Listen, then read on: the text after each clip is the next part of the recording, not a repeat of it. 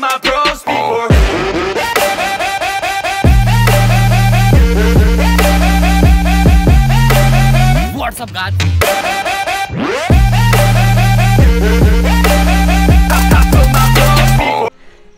वैसे देखा जाए तो बैकफ्लिप विद सपोर्ट बहुत ज़्यादा इजी है बट लोगों को लगता है कि नहीं डर लगता है क्योंकि मैं आपको बताऊँगा। Let's go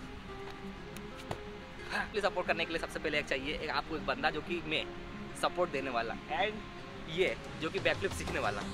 so let's go तू दूर को खड़ा इधर खड़ा होता ना। मुझे घर जाना। ये बंदा। सो स्टेप नंबर वन आपको क्या करना पड़ेगा? सो so, आओ। तो सबसे पहले आपको अपनी बॉडी की स्ट्रेंथ उस तरीके से बनानी पड़ेगी। मतलब इसका मतलब क्या होता है सबसे पहले आपको जंप करना पड़ेगा। जंप ये जंप बहुत ज़रूरी है कि इस जंप के बाद ही आपकी बैकफ्लिप प्रॉपर तरीके से हो पाएगी। एंड सेकंड नंबर का tuck jump and step number two यहाँ पर आता है रोल बैक रोल जो कि बहुत इजी चीज़ है अपन बच्चे अच्छे होते हैं ना तब करते जो आपका फ्रंट करते हो आपका बैक करेंगे। फ्रंट डाउन तुमसे ना हो पाएगा। सो so, आपको ये वाला रोल करना पड़ेगा जो कि बहुत इजी चीज़ है बस आपको टक करना और ऐसा कचरा नहीं करना है। एंड नंबर थ्री यहाँ पर सबसे इंपॉर्टेंट चीज़ आती है कि जब बंदा जो सीखने वाला होता है ये तो इसको पीछे घूमने का सेंस थोड़ा सा बढ़ाना पड़ेगा। मतलब टक करने के बाद बॉडी पीछे किस तरह से घूमे, क्योंकि अपन को बैक हैंड नहीं आती, अपन को डायरेक्ट बैक फ्लिप सीखना है। तो उसके करना पड़ेगा, ये है फेस उस साइड का बॉडी यहाँ पे एंड आप चाहो तो यहाँ पकड़ लो, आप यहाँ, अपने कंफर्टेबल के हिसाब से। एंड जब वंस मोर सो ये वो जंप होता है कि आप किस तरीके से पीछे जंप लो। मतलब बैकफ्लिप का पूरा फोर्स लेना है। एंड जंप एंड होल्ड क्योंकि अगर आप यहाँ से पीछे घूम जाओगे, इसका मतलब आप सीख जाओगे। तो आपको इस तरीके से करना है। आपका हैंड सामने डाउन एंड पीछे जाते हुए टक बस यही टक को आपको घुमाना है। आप इजी सीख जाओगे। एंड नंबर फोर यहाँ पर सबसे इंपॉर्टेंट चीज़ आती है कि आपको ट्राई ट्राई करना है कि आपको एक सेफ़ प्लेस से प्रैक्टिस करना जैसे कि हम यहाँ कर रहे हैं। ये ये प्लेस पर आपको करनी पड़ेगी, जहाँ पर आप गिरे तो आपको लगे नहीं। ये बंदा है आपको यहाँ से सपोर्ट करने के दो से तीन तरीके बताने वाला हूँ। नंबर वन आप अगर ट्रस्ट करते हो ट्रस्ट है? नहीं। ट्रस्ट है नहीं है? हाँ थोड़ा है। अगर थोड़ा वो ट्रस्ट है तो आप चाहो तो पूरा पकड़ सकते हो टाइट ये फ़र्स्ट स्टेप है मतलब एक टाइप बता रहा हूँ। पूरा टाइट पकड़ना पूरा ताकि अगर ये पीछे जब गिरे तो बच जाए। आपको पीछे गिरते हुए बचाना है, बस आपको एग्जैक्टली यही करना है। फ़र्स्ट स्टेप में मैं रिकमेंड करता हूँ कि आप ये चीज़ ज़रूर करें एंड सेकंड में आप इजी रख सकते हो। एंड क्या करना है? टाइट पकड़ना है तो फ़र्स्ट में पीछे टाइट पकड़ना है एंड सेकंड में आपको यहाँ पकड़ना है, जब आप पीछे घुमा, क्योंकि बंदा स्टार्टिंग में घूमेगा इतनी जल्दी नहीं पीछे तो हमको ही घुमाना पड़ेगा।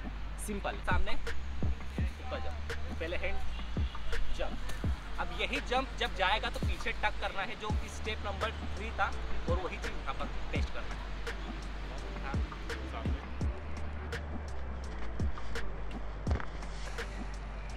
इस तरीके से। इसी जगह जहाँ पर आप गिर भी जाओ तो आपको चोट नहीं लगेगी इसीलिए मैं रिकमेंड करता हूँ कि आप जहाँ भी प्रैक्टिस करो या जहाँ भी सीखो तो वो सेफ़ प्लेस करो। एंड फ्लिप इसी तरीके से कंटिन्यू बार बार कराते रहिए। बस मेन क्या होता है पीछे घूमने का फोर्स आपको समझाना दिमाग में, बाकी सिंपल है। और यहाँ पर सबसे इम्पोर्टेंट पार्ट क्या आता है कि जब आपका हैंड सामने से डाउन एंड जब पीछे जाता है यहाँ पर तो आपको टक करना है। वो टक पकड़ने के बाद आपको खींचना है, ताकि आप रोटेट कर पाओ। आपका रोटेशन तभी बनेगा जब आप टक को खींचोगे अंदर एंड चेस्ट के पास ज़ोर से लेकर आओगे।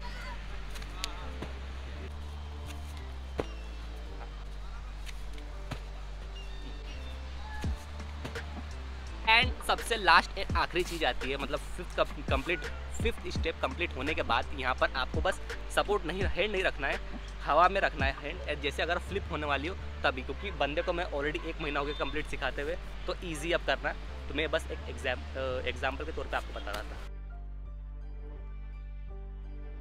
सो इस तरीके से आप बीच में सपोर्ट दे सकते हो ताकि बीच बीच में करने का डर निकल जाए एंड ईजी हो जाए कंप्लीट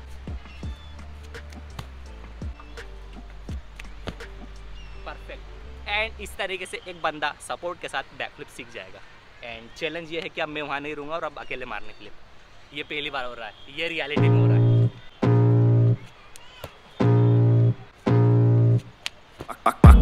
सो गाइज़ ये था हमारा वीडियो हमने किस तरीके से सिखा सकते हैं इस तरीके से सपोर्ट के साथ क्योंकि बहुत लोग बोलते हैं कि सपोर्ट में सीखना है और बंदा सपोर्ट वाला है लेकिन हम किस तरीके से सीखे ट्रिक नहीं है। सो लाइक कर देना शेयर कर देना हंड्रेड के तक हो गया। फाइव हंड्रेड के तक जाना है। मार दे।